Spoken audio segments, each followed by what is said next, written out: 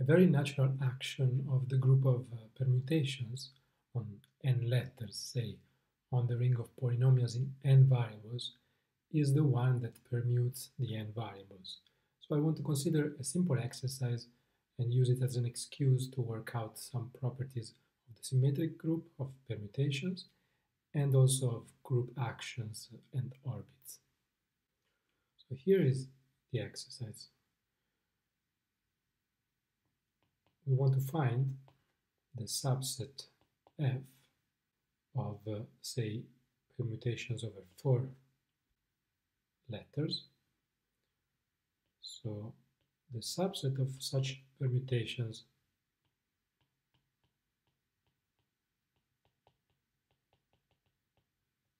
that leave uh, some expression invariant. And the expression following.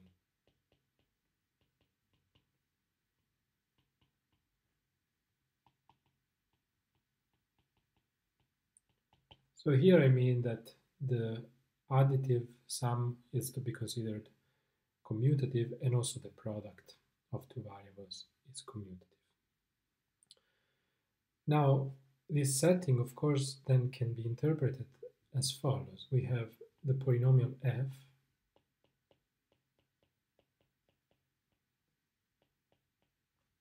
as a polynomial, say, with coefficient z in four variables.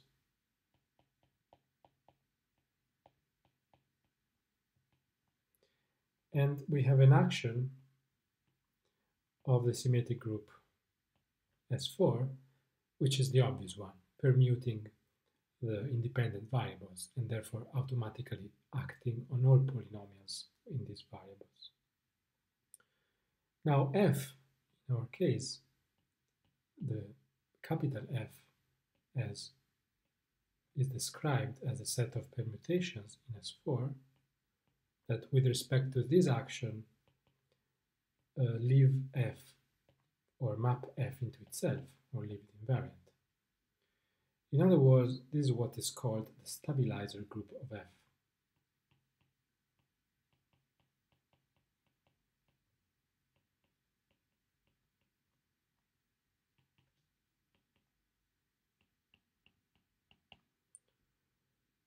Now, our point the point of this exercise is first of all to describe this stabilizer.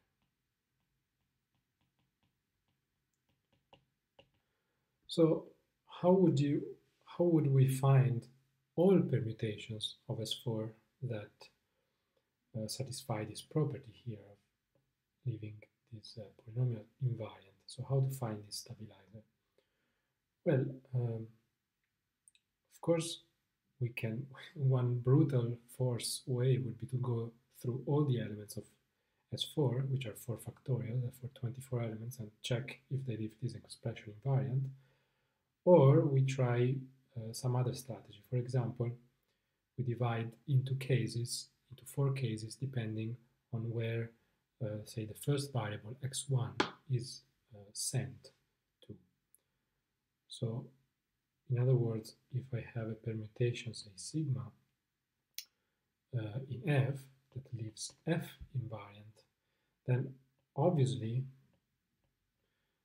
uh, so where the, the first, as any permutation in S4, uh, sigma of x1 would be either x1, x2, x3, or x4,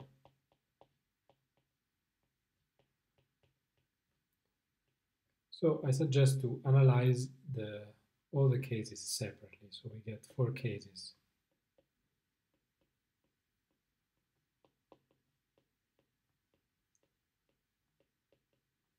And see, and let's see if by analyzing case by case we get some some conditions that uh, restrict the possibilities for sigma.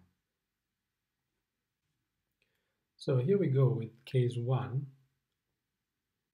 is where x1 is sent in itself. Then, of course, by hypothesis sigma has to preserve the polynomial f, and therefore, the, in particular, the expression x1 times x2 And so we have necessarily sigma of x2 has to be equal to x1, right? In other words, uh, because sigma of x1, x2, which will be equal to x1, since x1 is fixed, sigma of x2, and this has to be equal to x1, x2. So this is the reason. So x, x2 will have to be sent to x1, and so we, we remain with two possibilities, namely either x3 is sent to itself, or x3 and x4 are switched. So in the first case, of course, sigma is just the identity. Each element is, each of the four letters is sent to itself, or only 3 and 4 are exchanged. So sigma is the permutation written cycle notation as 3, 4. So let's see the second case, namely as uh, sigma of x1, say, is x2. Now, in this case, uh, of course, for the same reason, the expression x1, x2 has to be preserved, and therefore x2 has to be sent to x1 necessarily. So again, we are left with two cases. Either 3 and 4 are left fixed one by one or exchanged. In other words, uh, either the sigma only exchanges 1 and 2, so it's the cycle 1, 2, or ex it exchanges 1, 2, and 3 or 4. So the other case is that sigma is the product of 1, 2 and 3, 4.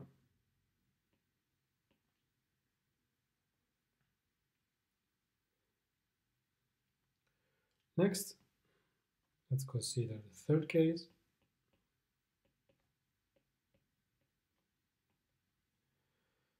So here, for a similar argument, or with the same argument, if x1 is sent to x3, then since the, the expression, so here the expression sigma applied to x1, x2 is going to be equal to well, x3 and whatever is sigma of x2.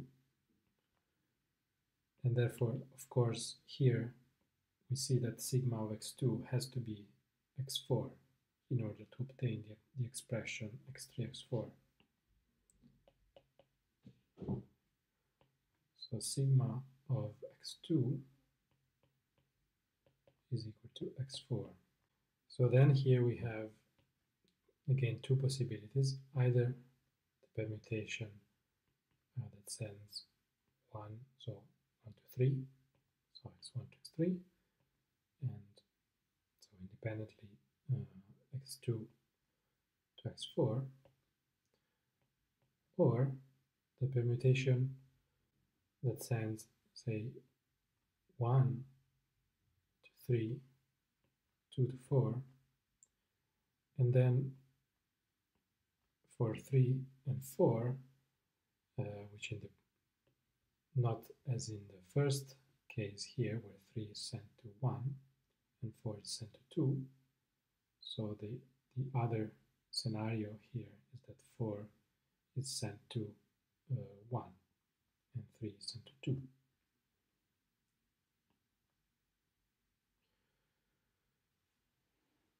So in other way, in other words, if you want to write this um, as a cycle or as a prod or as a product of cycle, let's see. Here we have one, two, three, and then three is sent to two. So one, two, one, three, two. Then two is sent to four, and then of course four is sent to one. So it's actually one cycle of length of order 4. Okay, so that was the third case. And now let's see the final case where sigma of x1 is equal to x4. Then for the same argument, we are forced for sigma x2 to be equal to x3. So again, we have two cases to see. One is that simply 1 is sent to 4, 2 is sent to 3, and then the final case is that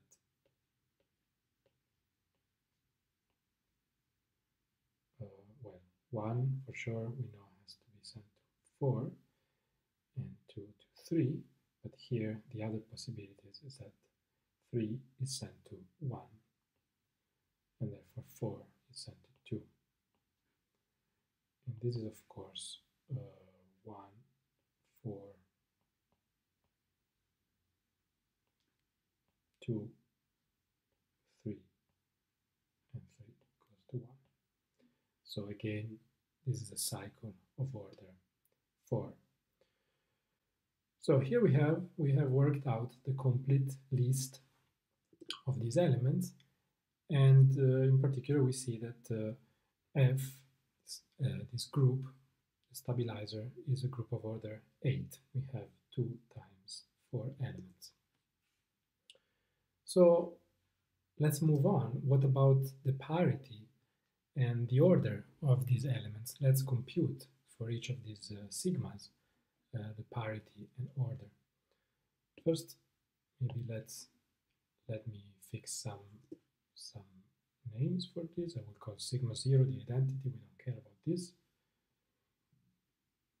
For our analysis, then I will call, say, sigma 1, cycle 1, 2, sigma 2, cycle 3, 4, and uh, sigma 3, this, this one, 1, 3, 2, 4 and 4.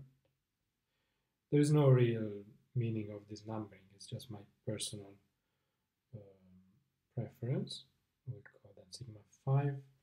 This one, which is a product of two cycles. So you see my order is by somehow ascending uh, length or complexity. And then we have the two big, bigger cycles, which I call sigma 6 and sigma 7. So we have now numbered all the eight elements of this F. So let's move on and, compete and compute uh, the order and parity of those. Okay, so first, what about the order?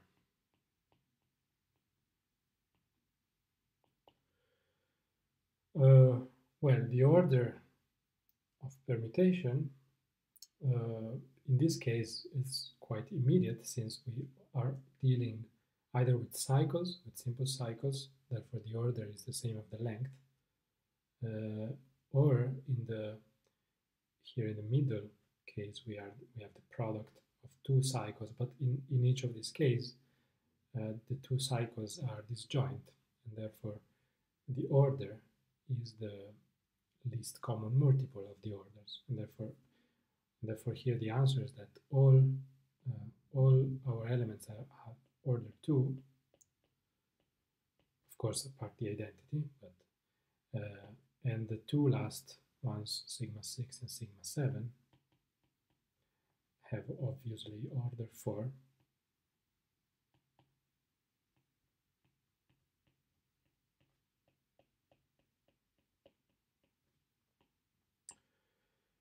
So of course, in, the, in this case, the, the group is, the, the description is quite simple, but in general, so in general, for more complicated cycle, for more complicated permutations, how would we go? What is a general procedure to compute the order unless you want to apply the single permutation and compose it to itself multiple times until you find the identity.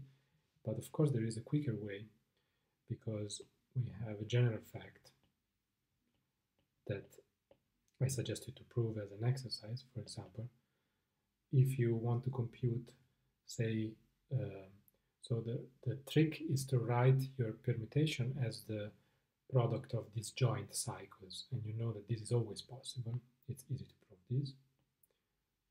So you have, say, say C1, CK, disjoint,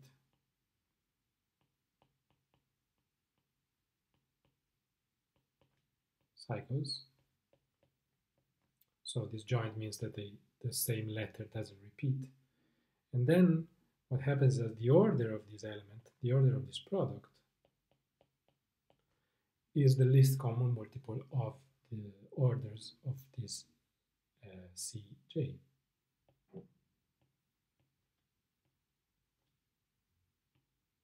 of the orders of C1ck.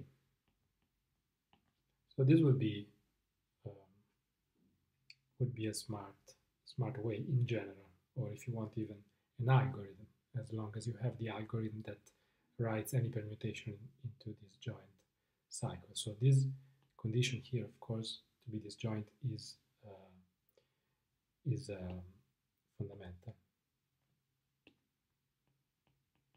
Let me write it better. So, for example, know, let me make an example, say in another, in the group of permutation S5, five letters.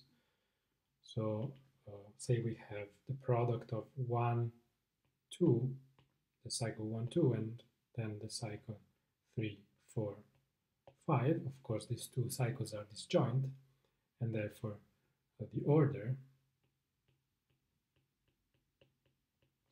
is 6, 2 times, so 2 here times uh, 3 here. And on the other hand, for example, in S5, there does not exist any cycle of order 8.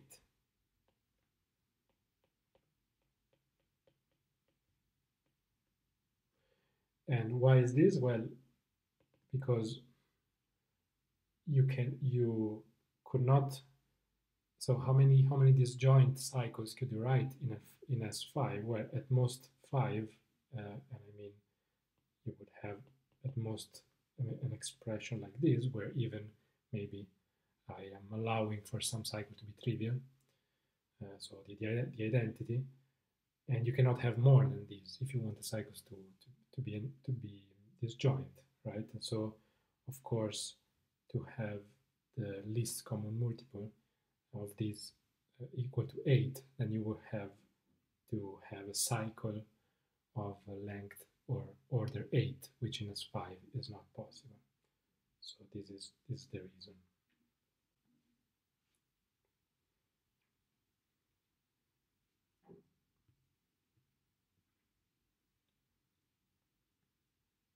Okay, so let's move on and now compute the parity or what is called the sign also of uh, these permutations in our uh, stabilizer group.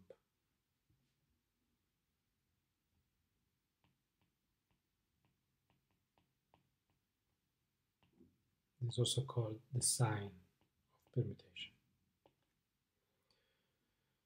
So here the parity of permutation can be defined as the parity of the, of the number of transpositions in, uh, in the expression.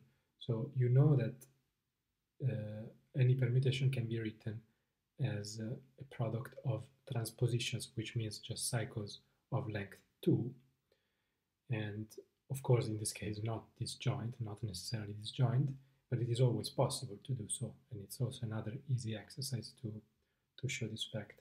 So the parity of a permutation, uh, so the interesting fact is that of course you could, you could write, uh, you could express one permutation in different ways as a product of transpositions, but what stays invariant is always the, the sign, so the, the parity of this number. So if you have an even number of transpositions, then you say that the parity is, is even or the sign is 1. And if you have an odd number, then you say that the sign is minus 1 or the parity is odd. Odd permutations and so on.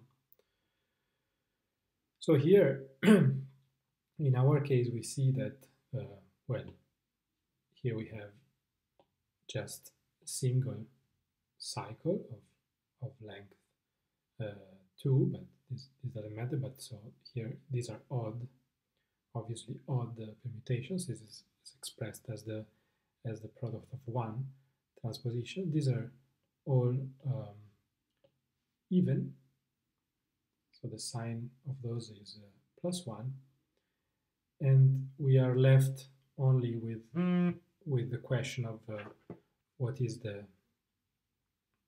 what is the parity of uh, sigma 6 and sigma 7. So mm, the intuition here is that very likely we can express this sigma 6 and sigma 7 as product of these other elements.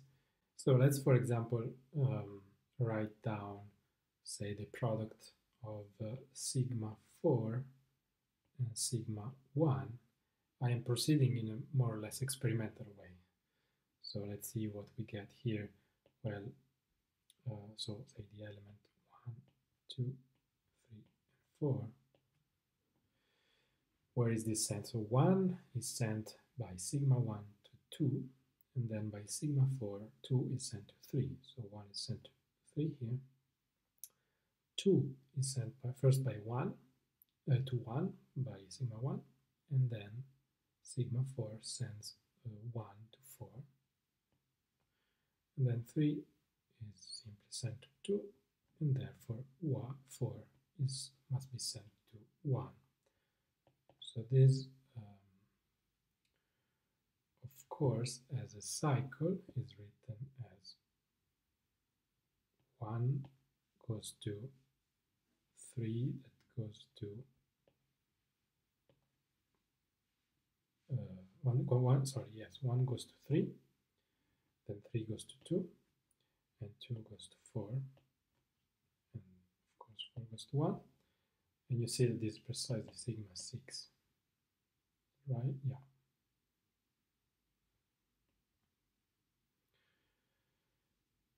Um, therefore, of course, sigma 6 is written as sigma 4 times sigma 1, which is equal to 1, 4,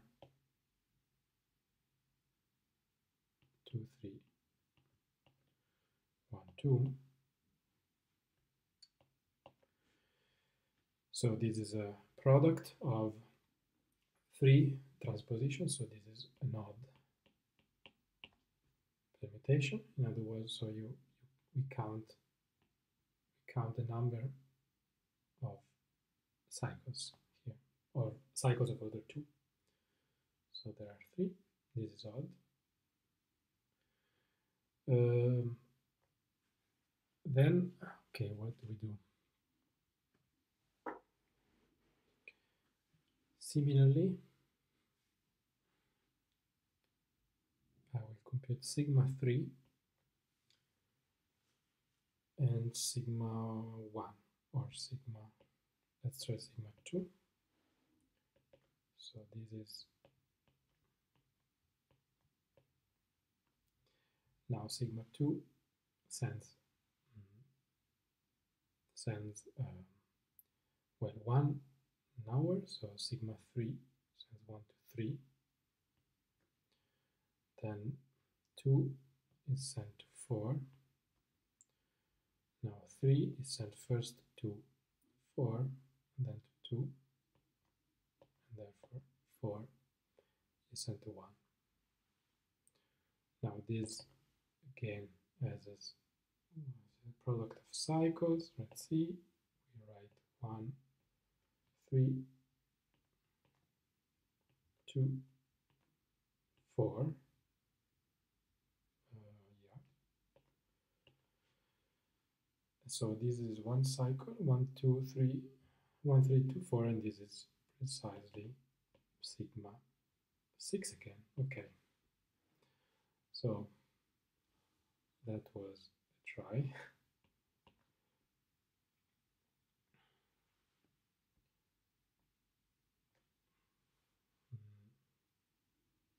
so let's try sigma 3 times sigma 1.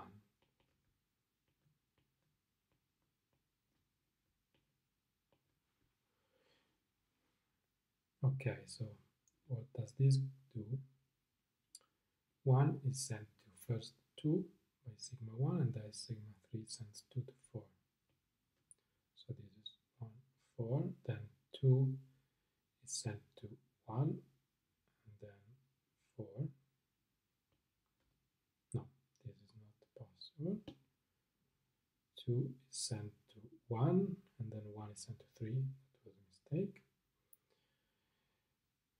Next, 3 is sent to 1. Yes.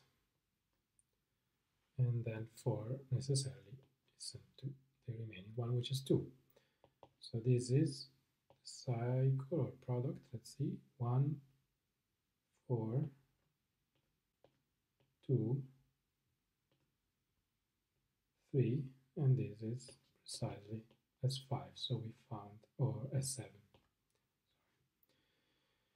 So as sigma 7, sorry, sigma 7, which is written as sigma 3 times sigma 1, and this is equal to the product of three transpositions, right? Namely 1, 3 times 2, 4 times uh, 1, 2. So again, we have a bouquet of flowers with three with three leaves and so this is also an odd permutation.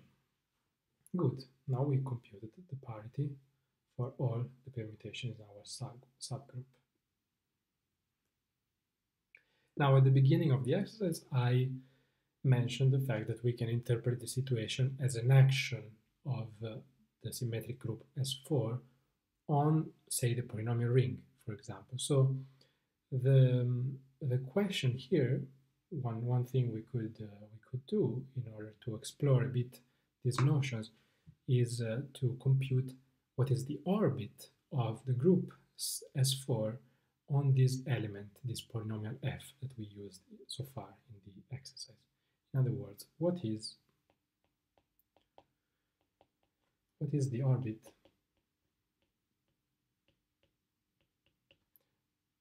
of the whole group action, say S4, on the element F for our element just like before. Of course, we could also compute it for other elements, but let's now focus on this, and maybe we can use what we've done so far. Okay, so first of all, what do we expect? Um, in general, what we know is that by a finite group acting on some set, we have a rule uh, that is that the order of the, say, of the, uh, of the orbit.